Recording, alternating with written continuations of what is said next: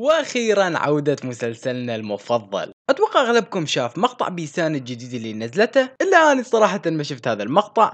والحمد لله إني ما شفت هذا المقطع لأنه وصلني خبر إن المقطع كذب مو حقيقة.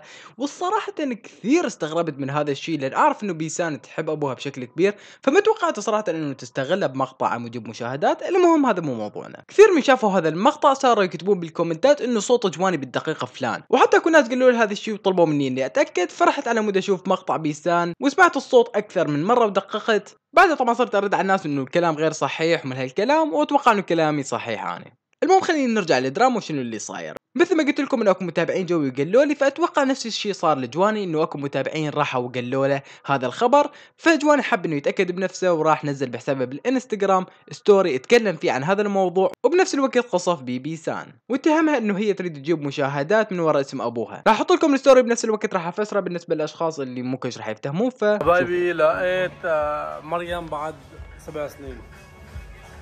طبعا هو هنا يقصد اسم العنوان المقطع اللي هو راح أشوف بابا بعد سبع سنين مؤثر وهاي الكلمة أساسا كتبها بال story.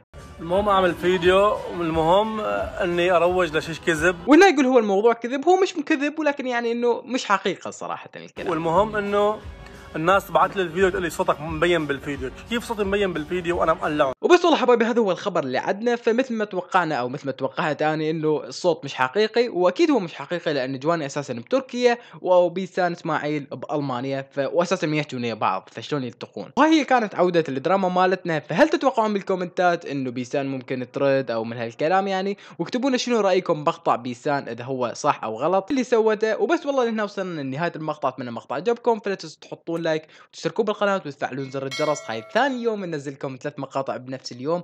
صراحة شغله كلش مرهقة ولكن دعمكم يستاهل صراحة. بس مع السلامة.